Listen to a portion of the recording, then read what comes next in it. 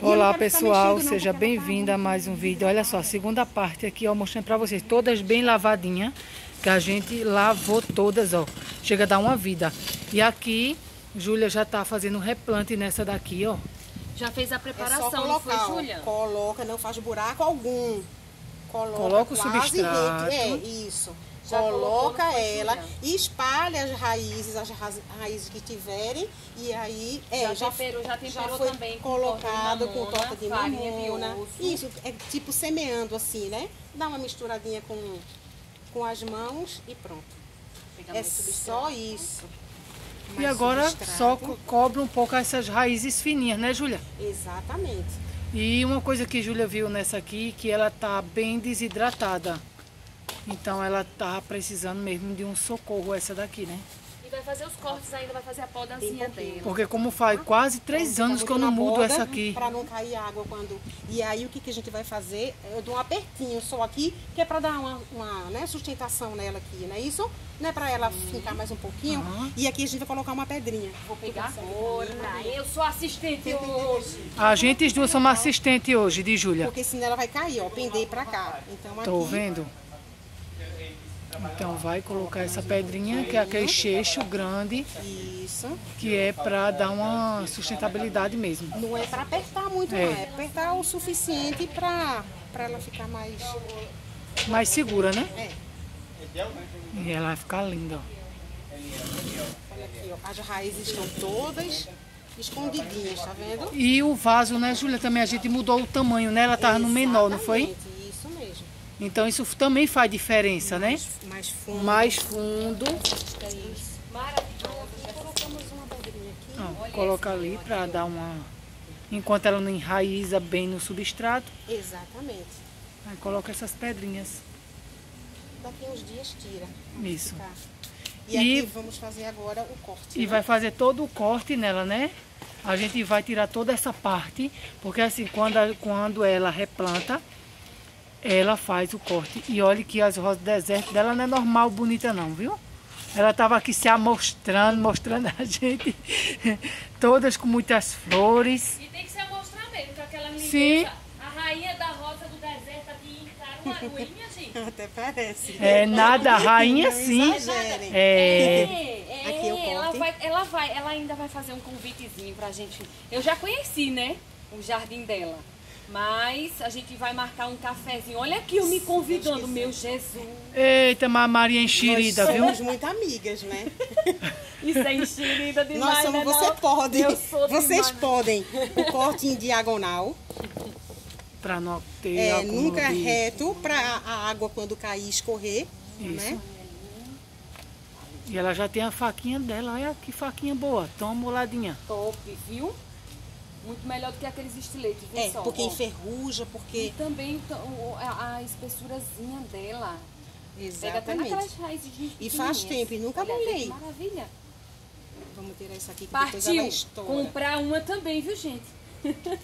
Eita, Maria, já quer uma faquinha. Todas É porque as... ela é muito boa, achei maravilhosa. E ela deixa essa faquinha só para as E a rosas do gente tem que deserto. seguir as especialistas, né, minha gente? É isso aí. Já fica a dica pra vocês também. Ó, essa rosa do deserto não precisamos fazer corte nenhum do, do, de nenhuma raiz, né? É isso. né? Porque Como algumas aqui que a gente vai precisar, né? Uma cirurgia vamos, exatamente, é seca a seiva que sai e coloca Canela. canela. Eu faço isso para ficar, pra ficar mais presa aqui. Sim, Júlia, aí eu sei que vai ter muitas perguntas sobre eh, se já vai direto para o sol, como é o, o tempo da rega. Se faz mal cair a canelinha aqui no substrato. Pode até colocar assim, ó, um pouquinho. Eu já tinha até esquecido. E Não tem pura, problema né? Ju? Não nenhum. é aquelas de mercado não, gente, que tem açúcar. A gente só usa ela Não, pura, sem açúcar. puríssima. Nada de você açúcar. compra, né, no, É. nas casas de... de, de- e- Produtos e- naturais. é, produtos naturais, que vem de grãos, né, chazinhos. chás, É, exatamente, as ervas para chás. Ela é puríssima. Pronto, aí aqui, né, ela tá prontinha, Bem, aí a gente já faz a rega, não. É, é, como esse substrato ele tá muito, ele tá bem úmidozinho, tá vendo? Ele não tá bem, Pois, né, levou uma hidratado. chuvinha, uma chuvinha. Não molha hoje, só amanhã, pouquinho, pouco. Não coloca água nela em cima, de forma alguma. Coloca por aqui um pouquinho de água. Vamos dizer que uns dois copos de água pelo tamanho, né? Do vaso, entendeu? Uns certo. dois copos pequenos, né? De água. E não coloca direto no sol ainda, por enquanto. Chuva nem pensar. Ela vai passar processo, uns 15 dias. sem estar no sol, né? Direto, né? Sentar no sol direto. Aí, vamos dizer, com quatro dias, pega o solzinho da manhã, não tem problema nenhum. Né? Se tiver seco, né? Quando colocar água, coloca essa, essa rega, né? Não em abundância, porque ela tem que ser é, regada em abundância quando ela já está Bem- totalmente pronta, né? Totalmente quando ela está totalmente enraizada, soltando né, as folhinhas já. Mas por enquanto não. A rega, ela é a mínima possível, vamos dizer. Só o suficiente para não ficar desidratada, né? Isso aí. É isso aí. E a gente vai fazer com as outras também. Né? Ela não vem tendo uma, uma resposta naquilo que você estava querendo, porque já estava precisando mesmo tirar. É isso aí. O substrato estava velho. Tá muito velho. Exatamente. Acho que fazia quase três anos essa daí. Nossa. Sem mexer de Ah, jeito não. nenhum. Eu coloquei, só acrescentei um substrato então por tá a cima. resposta aí para você. Eu não mexi nela, eu só fui colocar, assim, acrescentei substrato. Então, mas mesmo assim não serviu, não E é? correr o risco de, inclusive, apodrecimento de caldex, essas coisas. Pois né? é. É como a gente tava falando aqui, ó. Essa partezinha aqui que vai ficar fora, essas raizinhas a gente vai e tira, né, Júlia? Exatamente. Só Sim. não tira as de baixo. E, e tem gente que tira ainda, né? Mas não é o certo. Porque assim, raiz, tem, é, é, rosa tem que ter as raízes. Então a gente só tira essas de cima. Que não vão ser utilizadas, vão ficar né, no substrato, né? Isso, e Senão elas vão ficar penduradas assim, ó. E quando ela engrossa, ela acaba o quê? Estrangulando, né? Como você disse, né? Tem umas que acontecem. por isso que a gente faz esse trabalho. Aí depois ela enxuga a seiva e coloca a canela. E essa partezinha aí, que vocês estão vendo mais clarinha, né, Julia? Aí Essas partes aqui, ó, tá vendo essas, né? Não dá a impressão é porque que ela está em é, é crescimento. em fase né? de crescimento. É. Que coisa exatamente. interessante, né? É. Que é essas nervurinhas, né? De crescimento, de, né, de... De, De, engo- de engordar o engordar caldex. cade- caldex, é, exatamente. Ó, enxuga. E coloca a canela. Dá um apertãozinho para firmar. E como eh, ela estava falando também, que uns, com uns 15 dias mais ou menos é que vocês podem colocar no tempo. Não pode eh, fazer agora o trabalho e colocar no tempo, que vem a chuva e pode acabar apodrecendo aí. Porque como as raízes elas não estão fixadas ainda no substrato novo, então não pode, pelo menos até 15 dias. Aqui já foi colocado, né? A farinha de osso, a torta de mamona, né? Coloquei, semeei e misturei, assim, ó. E ela sempre coloca um pouquinho também de canela. Também. E a chuva também ia fazer o quê?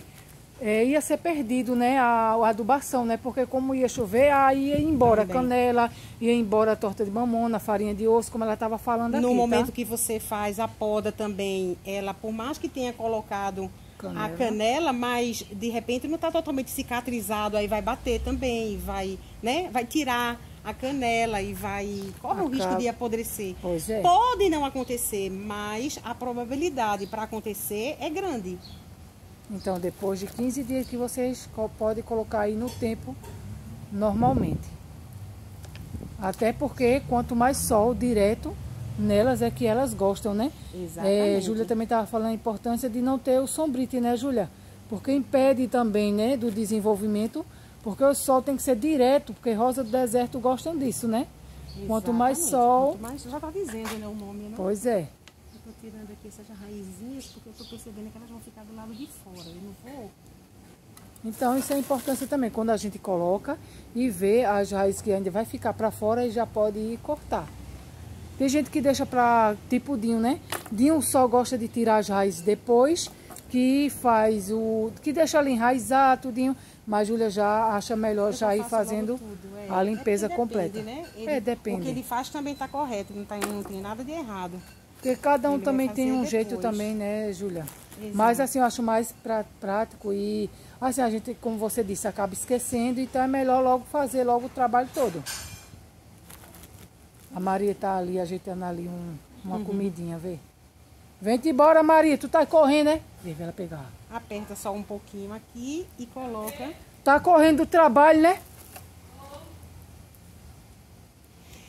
Nós estamos colocando as pedrinhas porque quase não tem raízes, né? Então ela não vai ficar presa, né? Assim, né? Segura. Então ela tá, ó, assim, ó, bamba. Ah, então por isso nós colocamos. Mas após.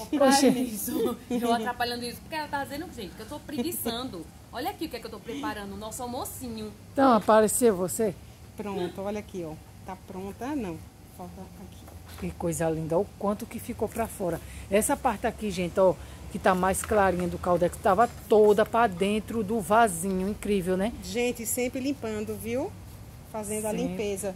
Ou da, do estilete ou da faquinha. Que você Uma faquinha bem fininha que seja o corte, ó, preciso, ó. É rápido, tá vendo? Então, é que habilidade. Pronto.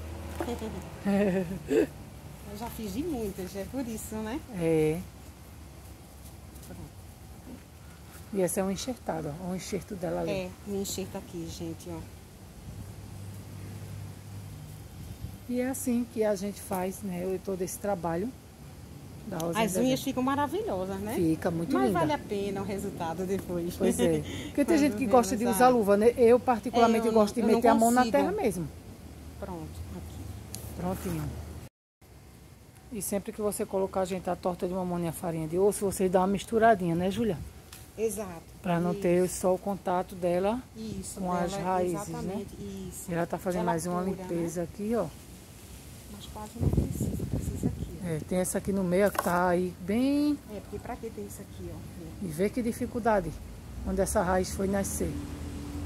Olha só. E tá um corpinho bem bonitinho, parece duas perninhas.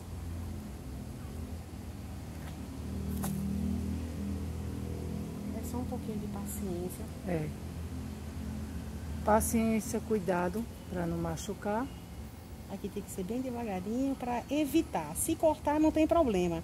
Coloca canela, mas se a gente puder evitar dar algum corte no caldex. E olha as que a gente já. A gente não, né? Júlia. Nós, você também.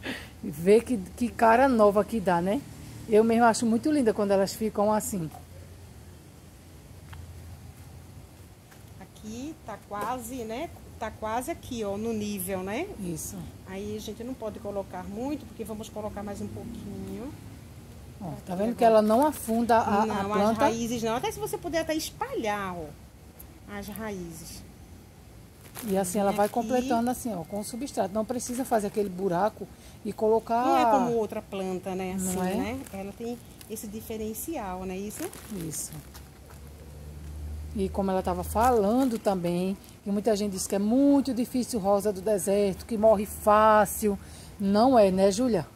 Pelo que a gente viu aqui, né, também, né, assim, muitos precisando já mudarem há mais tempo, mas ficaram resistindo, né? Isso É muito, são É, muito resistentes.